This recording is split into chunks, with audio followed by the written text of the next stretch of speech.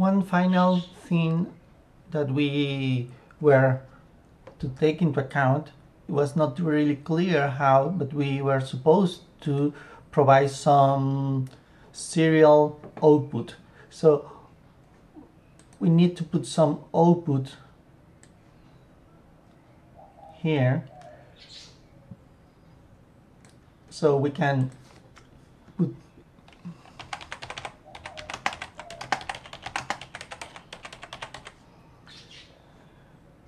just we have an idea that the button has been pressed so we can start the simulation.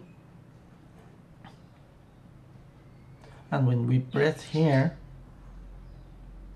it, it tells us that the button has been pressed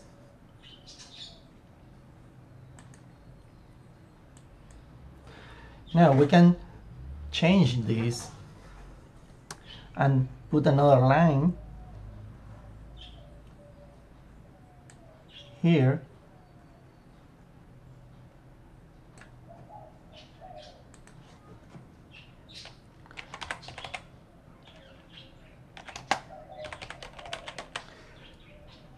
Saying that this cycle has finished. And we can put another here if we want, we want to. Saying that is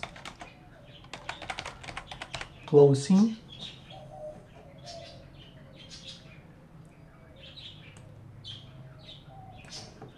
and here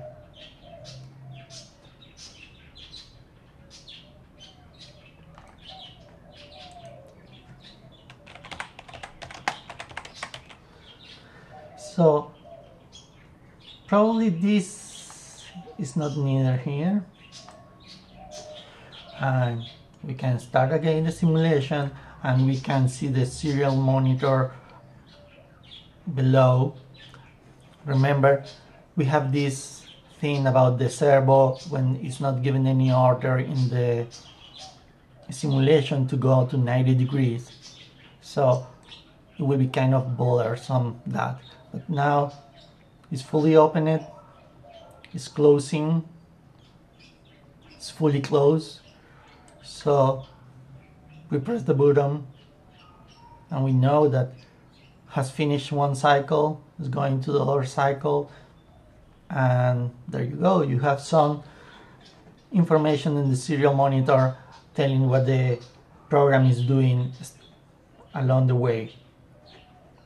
Of course you can make the statement more nice or more detailed it's up to you. I, I just wanted to share some ideas on how this is working